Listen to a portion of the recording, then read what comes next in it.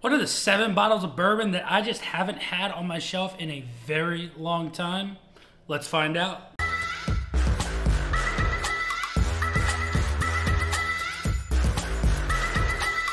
What's going on everybody? Nathan here with the Everyday Drinker bringing you guys a brand new video. Now I just got back from my bachelor party from Nashville, Tennessee and I had an absolute blast. And I had this one question lingering in the back of my mind while I was out there what bottles of bourbon on my shelf have I not had or poured myself in a very long time? Well, I came up with the conclusion and I picked those seven bottles of bourbon when I got back and it's very surprising what bottles of bourbon I have not had.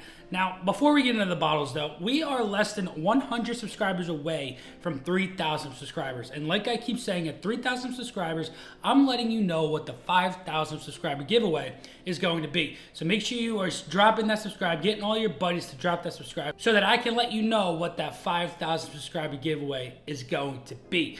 Also, check out the Patreon link is down below, but without further ado, let's get into bottle number one that I just have not poured myself in a very long time. Bottle number one goes to Larceny Small Batch, and this is bottled at 92 proof. And I just think there are a couple of bottles of bourbon that are on my shelf that I tend to go to more often than not that are right around this same proof point.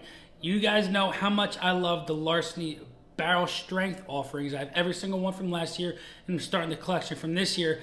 I always go towards those when I'm looking for something that's barrel strength. But if I'm looking for a lower proof bottle of bourbon, this is not the wheated bourbon that I tend to go to.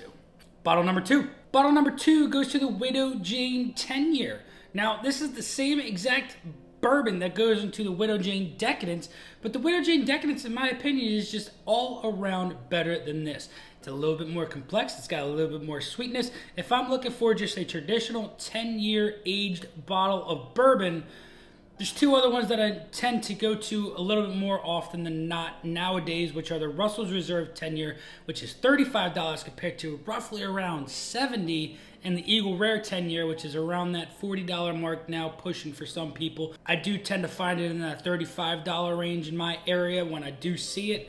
And for $70, I just think that this one is a little bit lackluster. So spend that little bit extra money, maybe $15 more, roughly around that $85 mark when that Decadence does come out at the fall time. Pick that Decadence up over the Widow Jane 10 year.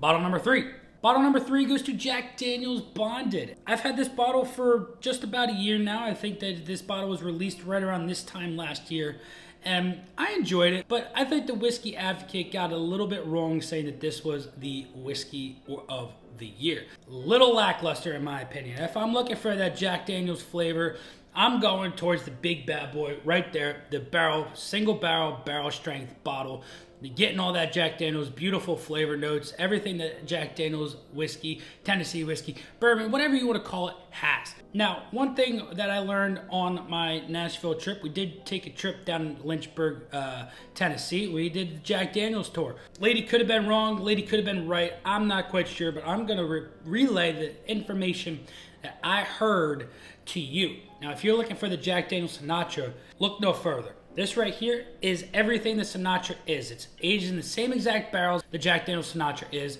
It's bonded, it's four years old, and it's 10 proof points higher than the Sinatra. So I, I tasted the Sinatra while I was there. It's this. It is 100% this. Now the cool thing about the Sinatra blend is the they core out some of the barrel of the Sinatra blend so that it, the the the whiskey is more interactive with the barrel. It's not your traditional staved barrel. From what I heard, this is aged in those exact same barrels. Could be right, could be wrong. If you're looking for Sinatra blend, look no further. Don't spend 200 bucks, spend 35.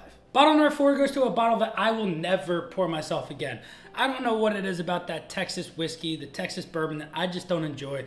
I think it might be a little bit too over oaked. You know, that bourbon saturates into the barrel like you wouldn't believe because of how hot it is down there. I just think it has gives it a weird funk that I just don't enjoy. But hey, they make it because people do enjoy it, but this is just not my cup of tea.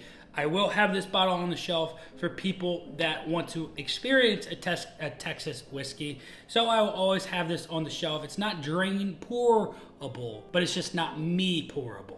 Bottle number five goes to a bottle that was one of my absolute first bottles of whiskey. First bottles of bourbon for that. And it was my first single barrel offering that I had ever picked up from a store. And I picked it up because it's a pretty bottle and I didn't know anything about it. So I got a little manhandled at the store and well, here it is. Bib and Tucker. Now, you can see that this bottle is roughly about halfway filled. And that was all drank within the first month of getting this bottle of bourbon and not knowing what it is. This right here is 100% sourced from Dickel. It's 12 years aged Dickel, single barrel, slapped with a single barrel store label on it. And that's why I don't enjoy it. I don't enjoy a lot of the just straight Dickel offerings. I some most of the time I enjoy a Dickel blend, right? You know I like that barrel uh, bourbon products. Those are sourced with a Dickel blend. This right here is 100% Dickel and it is just super super mineral. I don't really like that metallic flavor that this bottle of bourbon has to offer. And I will have this on the shelf because it is one of my first bottles of bourbon. It is my first single barrel, but I will most likely not be pouring myself this bottle again. Bottle number six. Bottle number six goes to Heaven's Door Double Barrel Whiskey. Now, this is classified as a whiskey. It's not a bourbon because it is a blended whiskey. It's a blend of three different styles of whiskey. I'm going to assume that it is bourbon, rye, and a American single malt just like the Jack Daniels Triple Mash is. But the Jack Daniels Triple Mash is 10 times better than this right here. Both bottled at 100 proof, but this is a double barrel whiskey. So this goes into a second charred barrel aged in that for a given amount of time. And well, it's just not as good as other double barrel whiskeys. Now you have many, many other offerings that are 10 times better, in my opinion.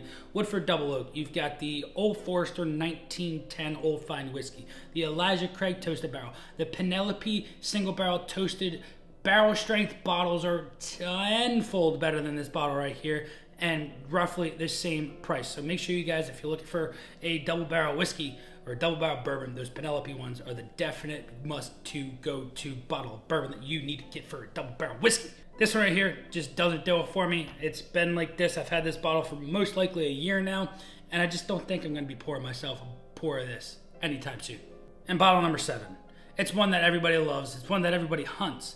But once they sip it for the first time, they realize it's just not all that. Blanton's Single Barrel. Now, this was my first Christmas gift from my fiance when I started to get into bourbon. Don't know how much she paid for it. She won't tell me but I know it's over MSRP because it was right before Christmas. So I know it was a little bit too high. And I will never have her buy me a bottle of Blanton's or bourbon again that is over MSRP. This is just a little lackluster. You know, I will have this on the shelf. I have backups on backups of Blanton's because I pick it up because I would just, I personally, I'm trying to get all the horsies, not gonna lie, but I'm not spending over MSRP for the horsies. I also picked this up just to have it on the shelf for people to enjoy and see if they enjoy Blanton's. Because a lot of people, they, they're looking for it. They want to know what it tastes like. They want to know if it's worth it for them. Well, I've got the, I've got the Blanton's for you. And right here, I'm gonna let you know it's not worth over MSRP. Don't spend 200. Don't spend 175. Don't spend 150. Don't spend 125. Don't spend $100 on this right here. It's not worth it. It's not. I don't even think it's worth the $65 price tag that it has on it. Maybe it's worth 50. But nonetheless, this bottle right here is just not one of those bottles that I have poured myself. It, I barely have it under the label line, and I've had this bottle for almost a year and a half now. There you guys have it. Those are the seven bottles of bourbon that I have not poured myself in a very long time, and I don't know when I will go back to these bottles of bourbon. If you want to know what what seven bottles of bourbon I always go to on my shelf, the ones that I enjoy all the time. Let me know down in the comments below. Also, let me know down in the comments below what bottles of bourbon you haven't poured yourself in a long time on your shelves. But until next time, this has been Nathan with the Everyday Drinker. Cheers.